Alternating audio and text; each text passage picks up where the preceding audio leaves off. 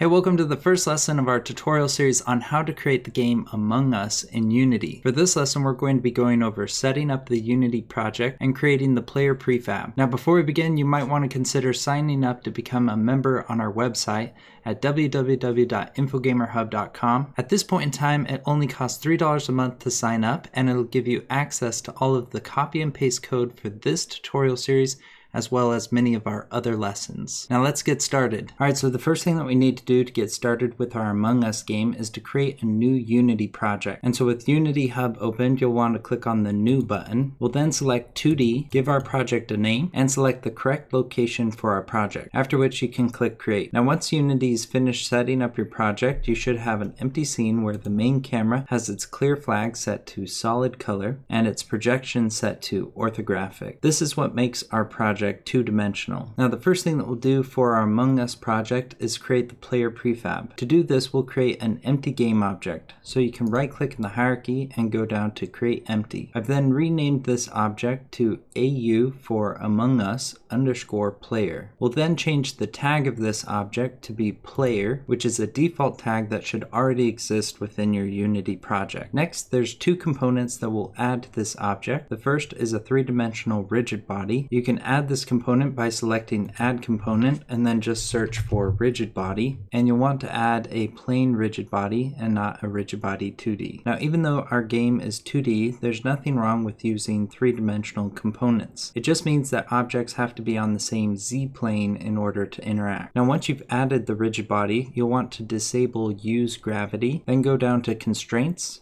and freeze the position on the z-axis and all its rotations. This will help keep our player upright. The next component that we want to add is a capsule collider. So you can click add component and then just search cap and make sure that you select Capsule Collider and not Capsule Collider 2D. Now we will need to resize this Capsule Collider, but in order to do that, we need to have some visual elements. And so we'll create the sprites for our player object. To do this, we'll right click on our empty game object and go down to 2D object and then select sprite. I've then renamed this object to sprite and all we have to do is apply the sprite image to the sprite renderer component. And so here in my project I have two sprite sheets which you can download from our website if you follow the link in the description below. The first sprite sheet includes all of the parts of the player that change color whereas the second sprite sheet includes all of the pieces that don't change color. You'll want to download both of these images and save them into a sprites folder Now with each of these sprite sheets, we first need to slice them. And so with the file selected, we'll change the sprite mode to multiple and click apply. Then select the sprite editor, which will open this new window from where you can select the slice drop down menu. You'll want to change the type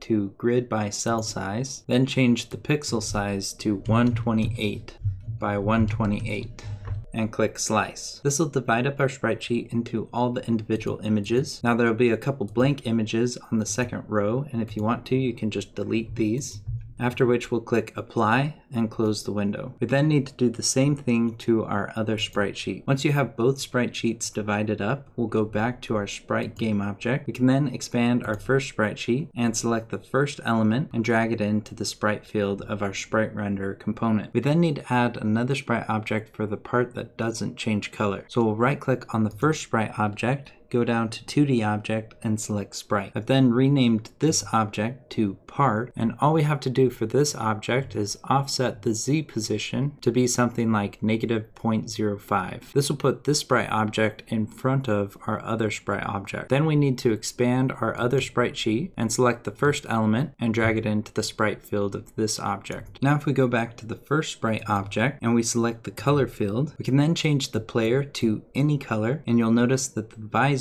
stays the same. For now, we'll just leave it white and we'll go back to the player parent object. Now that we have something visual that we can reference for scale, we can resize our capsule collider. So you'll click the edit capsule button. In the scene view, you can then grab the green anchor points and resize the capsule so that it is as tall and as thin as our sprite objects. Now the last thing that we need to do for this lesson is make this object into a prefab. So first you'll want to create a prefabs folder, then select the parent player object from the hierarchy and drag it into your project project window. And that's everything that we're going to cover in this lesson. For our next lesson, we'll be going over the basic player movement. Now if you enjoyed this lesson, make sure that you give it a thumbs up. If you have any questions, leave them in the comments below and subscribe to our channel so you can be up to date with all our latest videos. Thanks for watching and we'll see you in the next one.